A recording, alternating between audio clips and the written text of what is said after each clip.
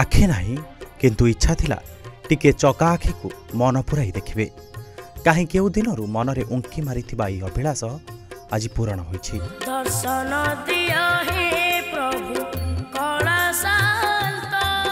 ଗାଡ଼ି ଘୋଡ଼ା ନୁହେଁ ପାଦରେ ଚାଲି ଚାଲି ମହାପ୍ରଭୁଙ୍କ ଦର୍ଶନ ପାଇଁ ଶ୍ରୀକ୍ଷେତ୍ରରେ ପହଞ୍ଚିଥିଲେ ଦୁଇ ଦୃଷ୍ଟିହୀନ ବନ୍ଧୁ।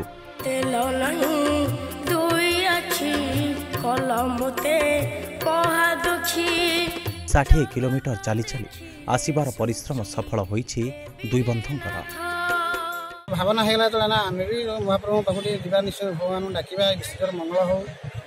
ବା ତା ପର ପର ବର୍ଷ ବି କରୋନା ଆସିଗଲା କରୋନାର କେମିତି ସମସ୍ତ ଆରୋଗ୍ୟ ହେବେ ଆଉ ଏମିତି କରି ଜଗନ୍ନାଥଙ୍କ ପାଖକୁ ଗୋଟେ ସ୍ୱୟଂ ପ୍ରାର୍ଥନା କରିକି ଆମେ କଥାରେ ଅଛି କାଳିଆର ଡୋରି ନ ଲାଗିଲେ ତାର ଦର୍ଶନ ସମ୍ଭବ ନୁହେଁ। ଆଉ ଆଜି ଯେତେବେଳେ ଭାବ ବିନୋଦିଆର ଡୋରି ଲାଗିଛି ଦର୍ଶନ ଅଧା ରୁହନ୍ତା ବା କେମିତି? କିଛି ସ୍ୱେଚ୍ଛାସେବୀଙ୍କ ସହାୟତାରେ ମନର ଚକ୍ଷୁରେ କଳାଦିଅଙ୍କ ଦିବ୍ୟ ଦର୍ଶନ ଲାଭ କରିଛନ୍ତି ଏହି ଦୁଇ ଦୃଷ୍ଟିହୀନ ବନ୍ଧୁ। ଗଲା ଷୋହଳ ତାରିଖ ଶ୍ରୀପଞ୍ଚମୀରେ ଭୁବନେଶ୍ୱରରୁ ବାହାରିଥିଲେ ସାତ ବନ୍ଧୁ। ବାଟରେ ବାଟବଣା ହୋଇଗଲେ ପାଞ୍ଚ ଜଣ। ଶେଷରେ ଦୁଇ ଜଣ ଶ୍ରୀକ୍ଷେତ୍ରରେ ପହଞ୍ଚି ଜଗା ଦର୍ଶନ କରିଛନ୍ତି।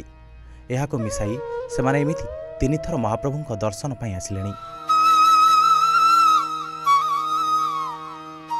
ବିଶ୍ୱକୁ ମହାମାରୀରୁ ମୁକ୍ତ କରିବାକୁ ମହାପ୍ରଭୁଙ୍କ ପାଖରେ ପ୍ରାର୍ଥନା କରିଛନ୍ତି ଦୁଇ ବନ୍ଧୁ। ପୁରୀରୁ ଶଙ୍କର ସରକାରଙ୍କ ରିପୋର୍ଟ ସ୍ୱାଧିକା ନ୍ୟୁଜ୍।